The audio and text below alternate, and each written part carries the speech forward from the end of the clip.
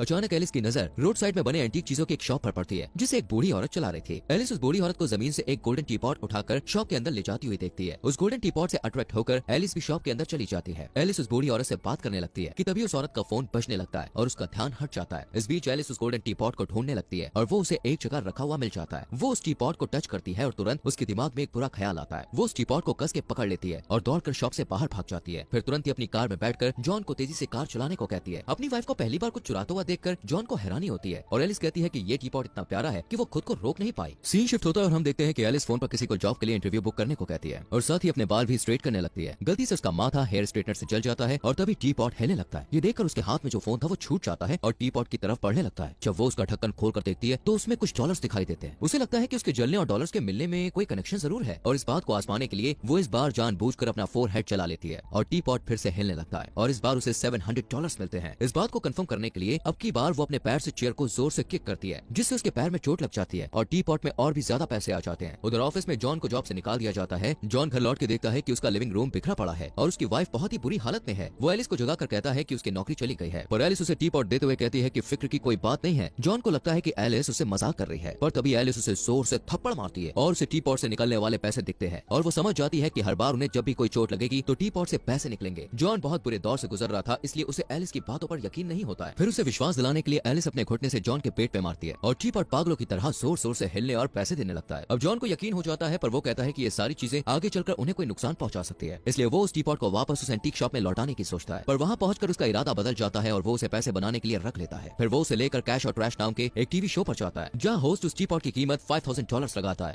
John को deal पसंद नहीं आती और वो टीपॉट को वापस लेकर अपने घर आ जाता है इस बीच एक अधेड़ उम्र का एशियन आदमी उस शो को देखता है और उसे वो टीपॉट बहुत पसंद आता है वो अपने घर की दीवार पर लटके हुए मैप में जॉन की लोकेशन मांग करता है इधर घर पर जॉन और एलिस फैसला करते हैं कि टी पॉट से दस लाख डॉलर कमाने के बाद वो लोग रुक जाएंगे फिर वो लोग अलग अलग तरीके से खुद को चोट पहुंचाने लगते हैं और बदले में टी पॉट से ढेर सारा पैसा कमाते हैं पर उन्हें ये सब करते हुए तकलीफ के साथ मजा भी आता है क्यूँकी खतरनाक तरीके से सेक्स करने पर भी उन्हें टी पॉट से पैसे मिलते हैं अब एलिस और जॉन पूरी तरह से बदल जाते हैं उनका रहन सहन खाना पीना और कपड़े वगैरह सब कुछ अब चेंज हो जाता है और इस वजह से उनका मूड भी बहुत अच्छा रहने लगता है एक दिन एलिस की माँ और बहन लंच पर उनके घर आती है तो ये सारे चेंजेस देखकर वो बिल्कुल हैरान हो जाती है की जॉन की सेल्समैन की मामूली सी नौकरी में वो लोग इतनी अच्छी जिंदगी कैसे मैनेज कर रहे थे कुछ समय तक सब कुछ ठीक ठाक चलता रहता है लेकिन एक दिन अचानक चोर जैसे दिखने वाले दो लोग उनके घर में जबरदस्ती घुस जाते हैं और जॉन को पीटते हुए उस पॉट के बारे में पूछते हैं और कहते हैं की जब से वो पॉट खोया था तब से उनकी ग्रैंड माँ एक दिन भी चैन की नींद नहीं सो पाई थी और इसी सदमे में उनकी मौत हो गई एलिस पॉट को तकिए के नीचे छुपा देती है और उनसे कहती है की उन लोगों ने टीपॉट को बेच दिया है इस पर वो गुंडे उससे उन पैसों की डिमांड करते हैं जो उन्होंने टीपॉट को कर कमाए हैं एलिस को लगता है की वो उन्हें बेवकूफ बनाने में कामयाब हो गई है और जल्दी से वो सारे पैसे जॉन को दे देती है जो उन लोगों ने पॉट से कमाए थे जॉन उन पैसों को गुंडों के हवाले कर देता है और वो लोग पैसे लेकर चले जाते हैं इस घटना से एलिस और जॉन एकदम चौकन्ने हो जाते हैं और टीपॉट के बारे में और ज्यादा जानकारी पाने के लिए एक लाइब्रेरी में जाकर उससे रिलेटेड बुक ढूंढते हैं और उन्हें एक ऐसी बुक मिल जाती है जो की जादुई चीजों और उनके इस्तेमाल के बारे में लिखी गई थी एलिस की नजर उस बुक के एक पेज पर पड़ती है जिसमें उस जादुई टीपॉट के इस्तेमाल से होने वाले बुरे अंजामों के बारे में लिखा हुआ था एलिस नहीं चाहती थी कि जॉन उस पेज को देखे इसलिए उसकी नजर बचाकर वो उस पेज को फाड़ देती है कुछ सालों तक उनकी जिंदगी ऐश में गुजरती है वो दोनों नई कार खरीदते हैं पास ही एक पॉश एरिया में एक नया घर भी बनवाते हैं महंगे महंगे कपड़ों से लेकर शानो शौकत की हर चीज खरीदते हैं और बड़े बड़े लोगों को अपनी पार्टीज में इन्वाइट करते हैं इस तरह उनकी जिंदगी बड़े ही आराम से बीत रही होती है कि एक दिन एक एशियन आदमी उनकी डोर बेल बचाता है और दरवाजा खोलने पर कहता है कि उसका नाम लेलिंग है और वो थियोसॉफिकल कम्युनिटी में काम करता है वो कहता है कि उसे पुरानी चीजों और खासकर टीपॉट में बहुत इंटरेस्ट है जॉन उस आदमी को घर पर कर उसकी बात को अच्छी तरह सुनना और समझना चाहता है पर एलिस कहती है की अगर उन लोगों ने उस आदमी को टीपॉट के बारे में बताया तो टीपॉट के साथ साथ वो सारी चीजें भी खो देंगे जो उन्हें टीपॉट से मिली थी लीलिंग उनसे कहता है की वो लोग खतरे में है पर वो उसकी बात नहीं सुनते और उसके मुंह पर दरवाजा बंद कर देते हैं लीलिंग के जाने के बाद उनका पुराना मकान मालिक अर्नी बिन बुलाए उनके घर में घुस जाता है और उनसे पूछता है की उनके जैसे से दो कौड़ी के लोग इतनी जल्दी अमीर कैसे बन गए दरअसल अर्नी उस वक्त पिया हुआ होता है और बेवकूफों जैसी हरकतें करता है फिर अचानक वो उनके हाथ से टी पॉट छीन कर भाग जाता है जॉन उसे टी पॉट वापस छीने की कोशिश करता है पर टी पॉट उछल कर बीच रास्ते में गिर जाता है अर्नी उसके ऊपर अपनी गाड़ी चला के चला जाता है पर टी पॉट को जरा सा भी स्क्रैच नहीं आता ये देखकर एलिस को राहत मिलती है पर उन्हें थोड़ा अजीब भी लगता है की टी पॉट के ऊपर ऐसी एक ट्रक गुजर जाने के बाद भी उसे कुछ नहीं हुआ इस बात का पता लगाने के लिए वो लोग लीलिंग के पास जाते हैं लीलिंग उन्हें बताता है की टी पॉट को नष्ट नहीं किया जा सकता उसे छुटकारा पाने का सिर्फ एक ही रास्ता है की उसे किसी ऐसी जगह में छुपा दिया जाए जहाँ उसे कोई भी ढूंढ नहीं सके फिर वो उन्हें उस टीपॉट की हिस्ट्री बताते हुए कहता है कि वो टीपॉट अपने समय के सबसे अच्छे और सबसे बुरे लोगों के हाथों से होकर घुस रहा है ली उन्हें वॉर्न करता है कि अगर उनके अंदर जरा सी भी बुराई होगी तो ये टीपॉट उन्हें बढ़ा देगा वो बताता है कि बरसों पहले आखिरी बार एक नाजी कैंप में उस टीपॉट को देखा गया था ये सब सुनकर जॉन टीपॉट को ली को दे देना चाहता है पर एक बार फिर से एलिस जॉन को उस टीपॉट को लीलिंग के हवाले करने से मना करती है वो कहती है की हम दोनों अच्छे लोग हैं और खुद पर काबू रखना हम जानते हैं इस पर जॉन अग्री हो जाता है एक रात वो दोनों गुंडे जिन्होंने पहले भी उन्हें परेशान किया था फिर से वो उनके घर में घुस आते हैं और चोरी करते हुए आपस में बात करते हैं की जॉन और एलिस बहुत बेवकूफ है इसलिए अपना अपना पैसा अपने टॉयलेट में छुपा कर रखते हैं जॉन और एलिस अपने बेडरूम से उनकी आवाज सुन लेते हैं और निकल कर उनके सामने आते हैं और उनके आने की वजह पूछते हैं तो वो दोनों चोर कहते हैं कि वो यहाँ पे टीपॉट चुराने नहीं आए क्यूँकी उन्हें पता है की उस टीपॉट को अपने पास रखने से बहुत तकलीफ उठानी पड़ती है क्यूँकी ये टीपॉट जिसके पास भी रहता है उसे पूरी तरह से कंट्रोल में कर लेता है और इंसान लालच में पागल हो जाता है ये सब कुछ उन दोनों ने अपनी ग्रैंड मदर के साथ होते हुए देखा था इसलिए उन्होंने जान उस टीपॉट को जॉन और एलिस के पास रहने दिया था ताकि उन्हें तकलीफ उठाकर कमाए गए पैसों को वो लोग आसानी से हासिल कर सके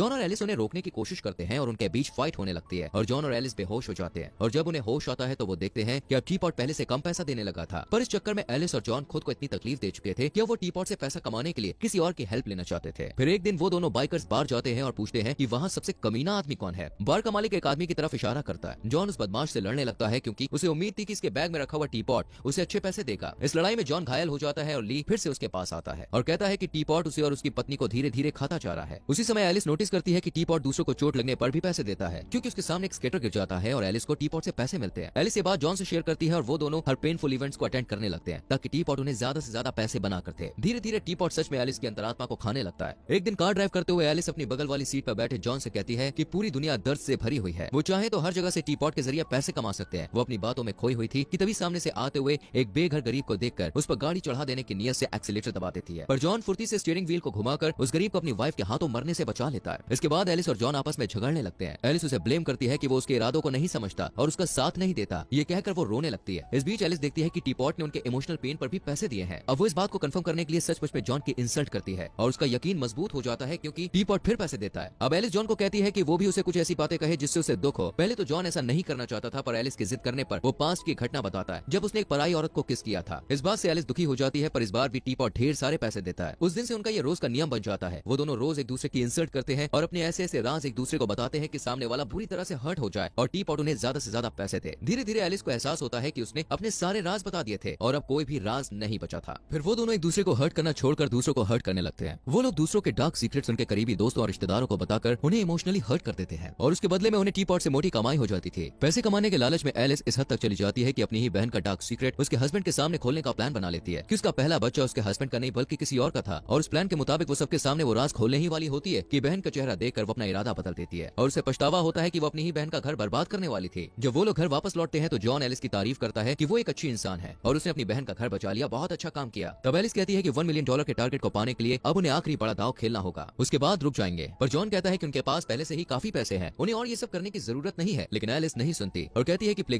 में बहुत सारे ड्रग बेचने वाले हैं अगर उन्होंने उनमें से किसी एक को भी मार दिया तो न सिर्फ वो मालामाल हो जाएंगे बल्कि समाज का भी भला हो जाएगा जॉन उसकी बात ऐसी अग्री नहीं होता है पर वो उसे ना भी नहीं कह पाता है फिर वो दोनों मिलकर एक गहरी कब्र खोते हैं पर अचानक जॉन का मन बदल जाता है और वो फैसला करता है की वो अब ये सब नहीं करेगा और एलिस से पूछता है की वो जॉन और टीपॉट में से किसे चुनेगी और एलिस कोई भी जवाब नहीं देती और निराश होकर जॉन ली के पास जाता है और उससे हेल्प मांगता है ली कहता है की अब बहुत देर हो चुकी है जॉन उससे रिक्वेस्ट करता है की वो उस टीपॉट को चुरा ले पर ली कहता है की इस तरह कोई फायदा नहीं होगा उन्हें उस टीपॉट को अपनी मर्जी से ली के हाथ में देना पड़ेगा उस रात नहाने के बाद एलिस जब अपने बेडरूम में जाती है तो देखती है की जॉन सेकंड फ्लोर के विंडो के किनारे बैठा हुआ है वो उससे कहता है की उसके चले जाने के बाद वो उस टीपॉट को वापस करते एलिस उसे कूदने से मना करती है पर जॉन कूद जाता है एलिस को अपने हस्बैंड की फिक्र होती है और वो दौड़कर नीचे आती है जॉन को बेहोश देकर वो रोने लगती है जल्द ही जॉन हो होश में आता है और एलिस से पूछता है कि वो टी पॉट ली को सौंपने के लिए तैयार है तो वो हाँ कर देती है क्योंकि उसे सबक अब मिल चुका था अगले दिन ली को टी पॉट सौंपने का फैसला करके वो दोनों सो जाते हैं पर उस रात जब एलिस और जॉन अपने रूम में सो रहे होते हैं उन्हें नीचे से कुछ आवाज सुनाई देती है जॉन चेक करने के लिए नीचे जाता है तो देखता है की उनका पुराना लैंडलॉर्ड अर्नी उस टी पॉट को चुरा कर अपने साथ ले गया था अर्नी टी पॉट का जादुई कमाल देखने के लिए खुद को हर्ट करता है और उसकी गर्लफ्रेंड भी पैसों के लिए खुद को चोट पहुंचाती है जॉन और एलिस टी पॉट ली को सौंपना चाहते थे इसलिए वो दोनों उसे लाने के लिए अर्नी के घर जाते हैं उन चारों में फाइट होने लगती है इसी बीच वो दोनों चोर भी टी पॉट को हासिल करने के लालच में वहाँ आ जाते हैं एलिस को याद आता है कि जब वो दोनों चोर उनके घर पैसे चुराने आए थे तब उन्होंने उस टीपॉट को टच किया था और इसी वजह से वो टीपॉट से अट्रैक्ट होकर उसे चुराने आए थे जॉन और एलिस की किस्मत अच्छी थी कि बाकी लोग पिस्टल्स और राइफल से एक दूसरे को घायल करके खुद ही ढेर हो जाते हैं मैदान साफ देखकर जॉन और एलिस टी को उठा लेते हैं और उसे ले जाकर ली को दे देते हैं ली उनकी तारीफ करते हुए कहता है की पास में राजा रानी लोग भी उस टी के असर से बच नहीं पाए थे लेकिन उन दोनों ने यह काम कर दिखाया दोस्तों उम्मीद करते हैं की इस मूवी की हिंदी एक्सप्लेनेशन वीडियो आपको अच्छी लगी होगी लाइक